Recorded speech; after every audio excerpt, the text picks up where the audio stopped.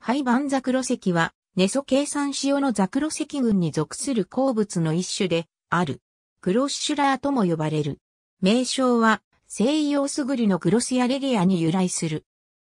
組成式は CA3AL23 で表され、純粋なものは無色であるが、普通は少量の廃鉄ザクロ石及び廃ザクロ石成分を固容体として含み泡褐色や単緑色を呈する。屈折率は1.74程度であるが、密度とともに固容する廃鉄ザクロ石成分などの比率により変動する。カルシウムイオンのイオン半径がやや大きいため、クバンザクロ石や鉄バンザクロ石とは固容体を作りにくい。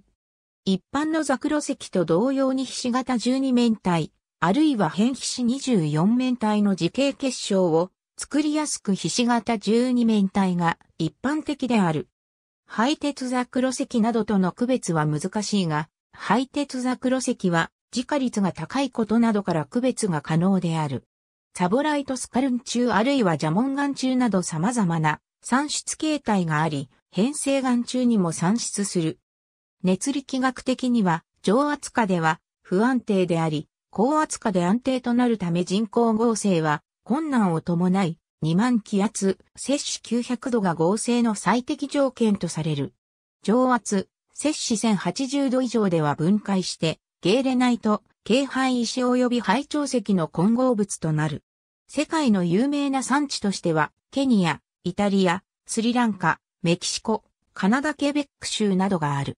ケニアからはクロムを含む濃い緑色を呈した種類を産することがあり、透明度の高いものはザボライトの名の宝石で呼ばれる。日本国内の産地では、福島県伊達市両前地域や長野県川上村の拳鉱山のスカルン中、あるいは福岡県笹栗町の蛇紋岩中などが挙げられる。ありがとうございます。